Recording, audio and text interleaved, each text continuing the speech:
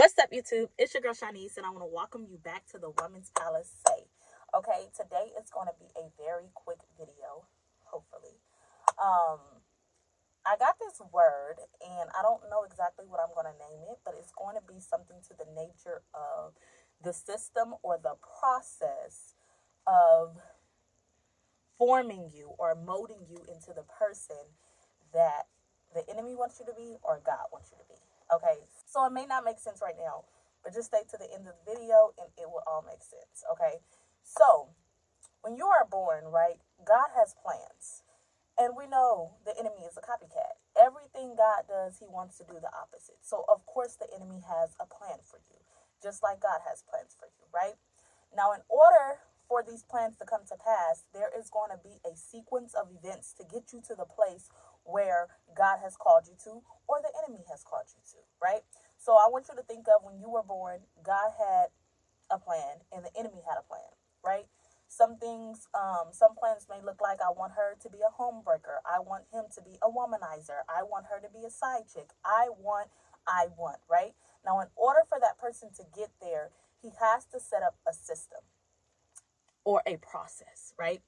And this is why people really need to understand generational curses because depending on what's in your bloodline, it opens up a door for the enemy to attack you. What your parents did, what your great grandparents, all that stuff affects you. So, depending on what's in your bloodline, the enemy sets up certain things and he likes to kill things off in a baby form, right? Just like um, Herod did with Jesus and Pharaoh did with Moses. So when you're younger, he starts to put certain things in your path, right? Depending on what it is that he wants to mold you into, he has to begin to set up certain systems, set up certain attacks so you can become initially what hurt you or initially what he have put in his mind for you to become. So that may look like rejection, rape, molestation, um, mother issues, father issues, your daddy rejecting you, your mother rejecting you, your mother not being there, I want you to understand that's all a process of him making forming you into what he wants you to become, whatever that is. So with that being said, I want you to understand why the Bible says do not repay evil with evil.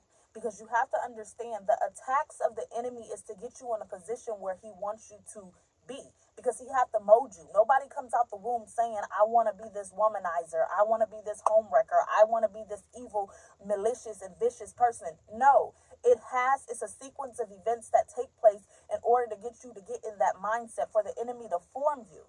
But if we are ignorant of this, if we don't understand that what's in our generational line basically opens up the door for the enemy to t- attack us, and if we just allow these events to basically we keep falling into the trap, so to say. So I think of it like a path, right? So the enemy got, okay, at five years old, this is going to happen. At seven years old, this is going to happen. At 10 years old, this is going to happen. And if you continue to just keep going to each part, falling into the trap, so to say, you're going to become that very person that he has assigned you to be.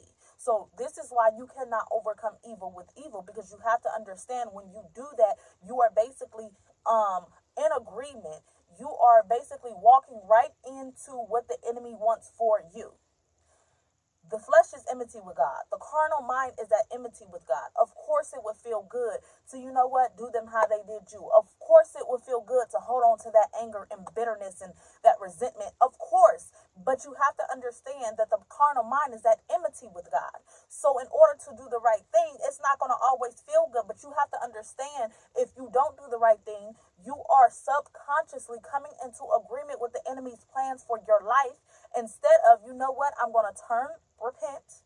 And guess what? I know it may not feel good, but I'm going to go ahead and start the process of what God is trying to form and mold me into. And I think about the potter's clay. Somebody is molding you. Who is your God? Who is your Lord? Somebody is molding you. So you have to ask yourself, who is molding me? Am I giving in to the enemy because I want to repay evil with evil because it feels good? But I don't understand that the enemy has a plan for my life.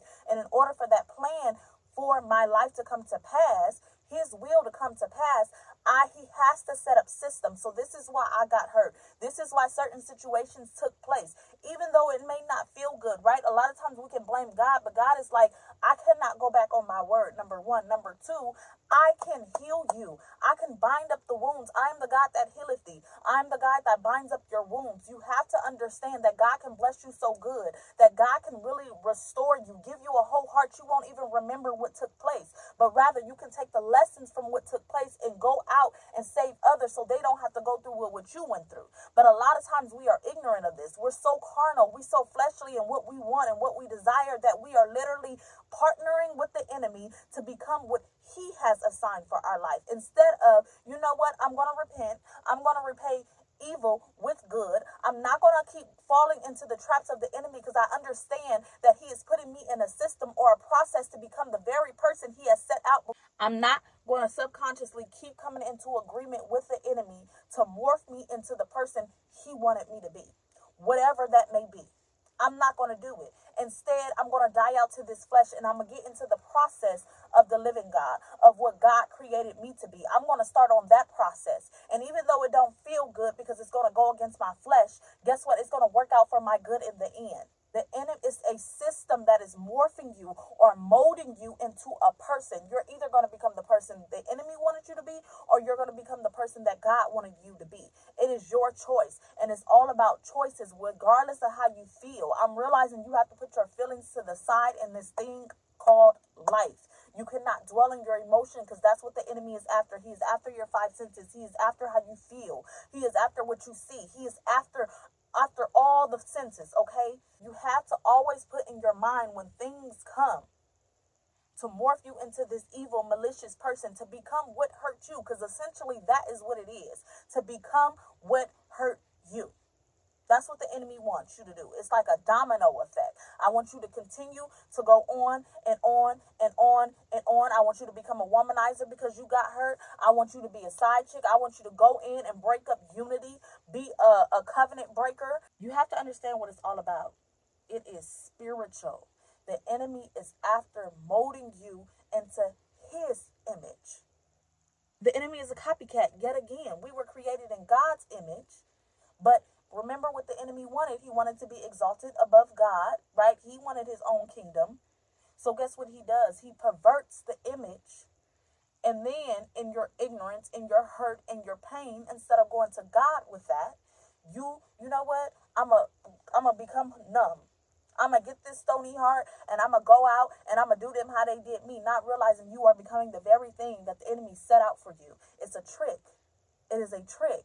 And you have to understand do not subconsciously come into agreement with the enemy's process for your life, the enemy's plans for your life, because you don't understand that it is a system set up in place to mold you into the person he wanted you to be.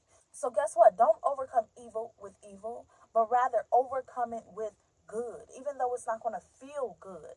There will be a season that you will see your victory manifest. There will be a season that you become everything that God has called you to do. And guess what? The enemy is going to be under your foot. You're not going to be in agreement with him. You're not got to think about it. You're going to continue to get hurt.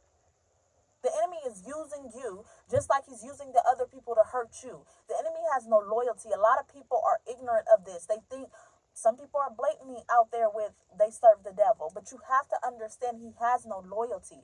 His battle, his beef is with God the Father, God the Son, and God the Holy Spirit. He ain't got he, you're just you're just a pawn in the game. And literally when you're ignorant, he takes advantage of that. So we're going to end it right here, okay? So really take heed to this and really meditate on this and understand baby don't be a part of that system. No matter how much it hurts, goes to God with your hurt. He can heal you. He can make it as it never happened before. Don't get caught up with coming into agreement with the enemy because it feels good in the moment. Okay.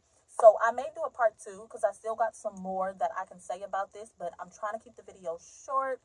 Um, but yeah, I want you guys to go out and be a light in this dark world.